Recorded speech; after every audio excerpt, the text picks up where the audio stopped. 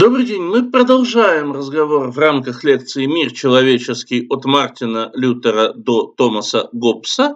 Э, и следующий сюжет э, связан с именем нидерландского юриста первой половины XVII века Гуга Гроция.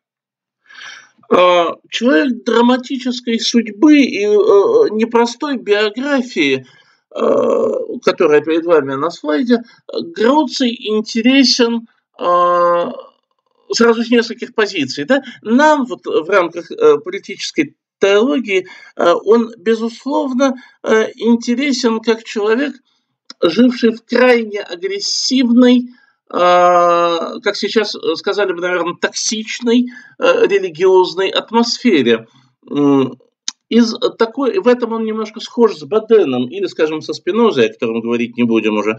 А, вот.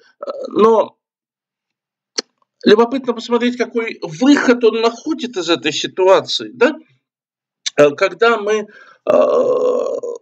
собственно, начнем говорить о его воззрениях, мы увидим, что он полностью выводит религию за пределы своего рассуждения. Я юрист, говорит он. Я юрист, мы говорим о праве, не о Ветхом Завете, не о Новом Завете, не о религии вообще. Да? То есть, э, э, как бы сказать, э, религия как предмет рассуждения эксплицитно отвергается им.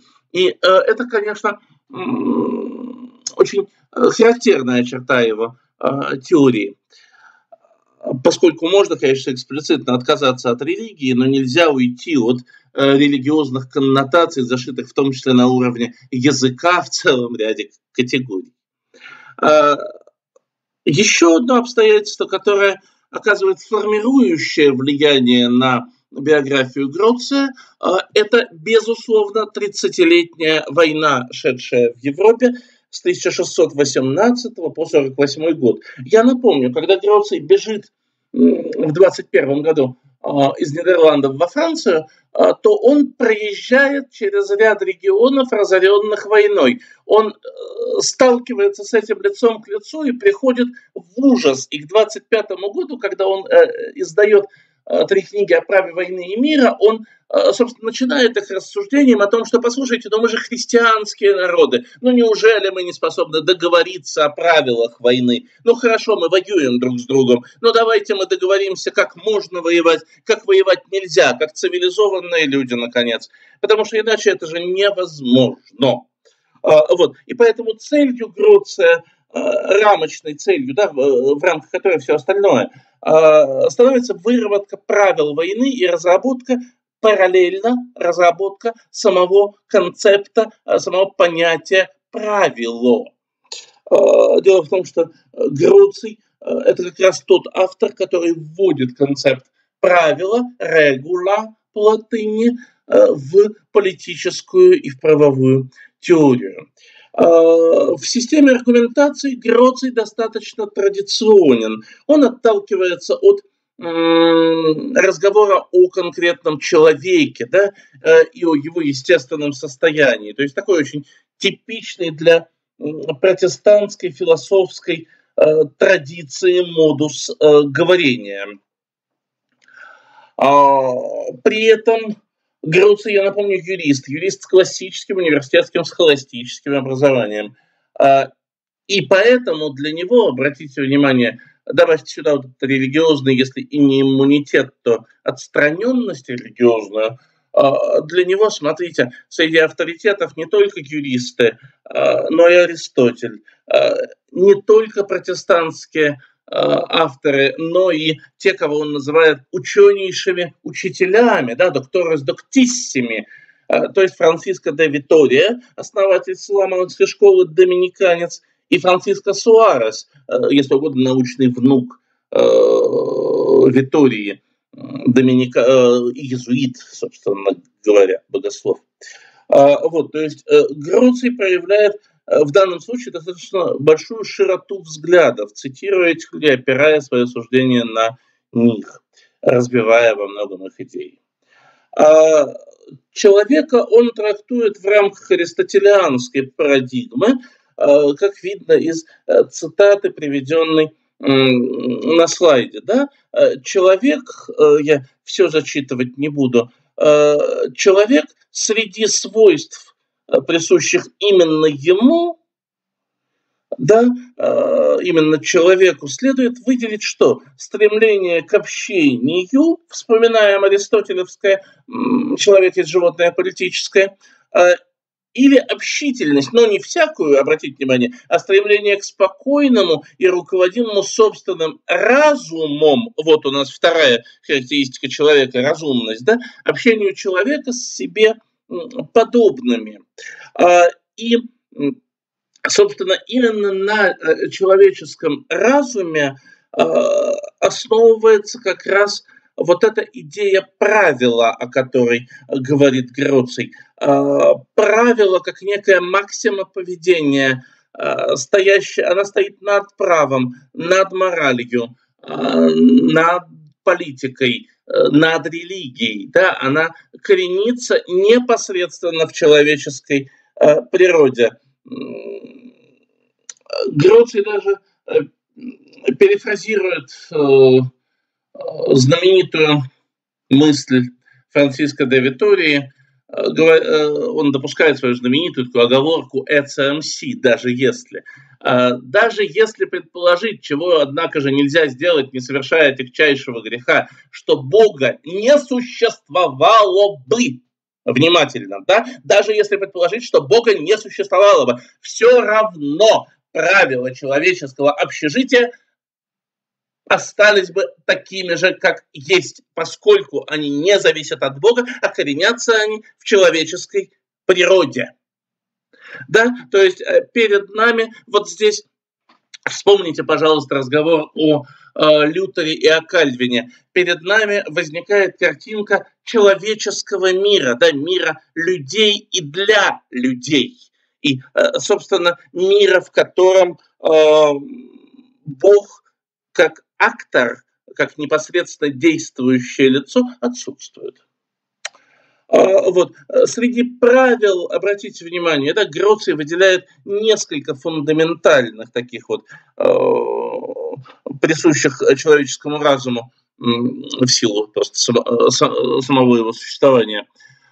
Воздержание от чужого имущества, возвращение полученной чужой вещи, возмещение извлеченной выгоды, Э, обязанность соблюдения обещаний, вот это предельно важно, на это внимание, э, возмещение ущерба, э, нанесенного нами, и воздаяние заслуженного наказания.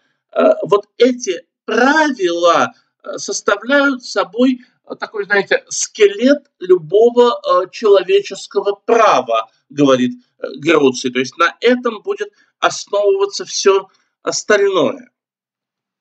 А, собственно, а, а, из природы человека, из вот этих правил вырастает и естественное право человека. Я напомню о существовании двух возможных трактовок понятия естественное право. Есть аристотелианское, собственно, здесь э, вопрос не э, свое право, да, понятно, а свое естественное. Что мы понимаем под естеством, под природой?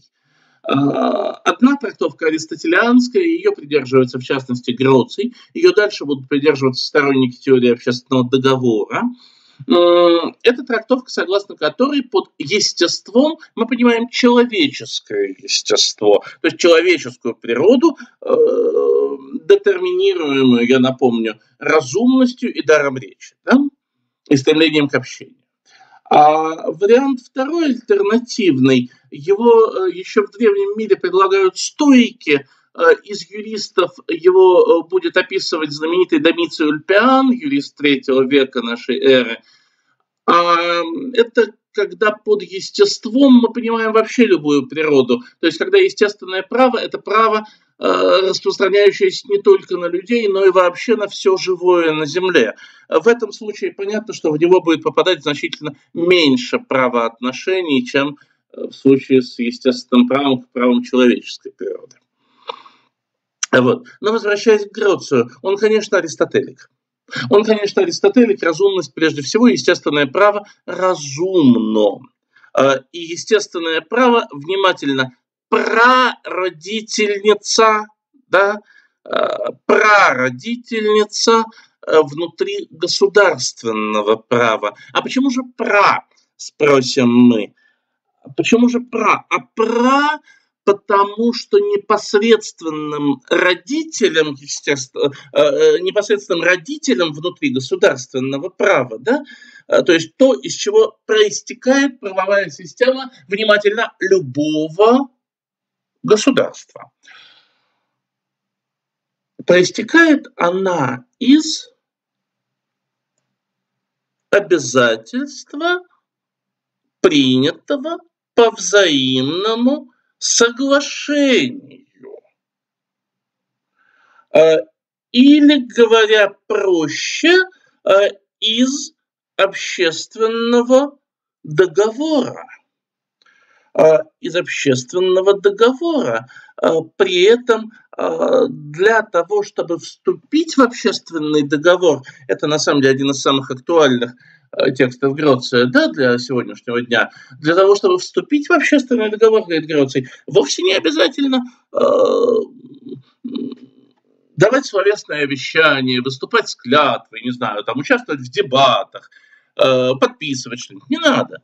Вы просто э, молча следуете э, правилам Э, по которым живет данный социум. Если вы живете э, по этим правилам, значит, вы их принимаете, значит, вы принимаете общественный договор, и на вас распространяются не только права, но и, разумеется, обязанности. А, а вот теперь смотрите, что получается.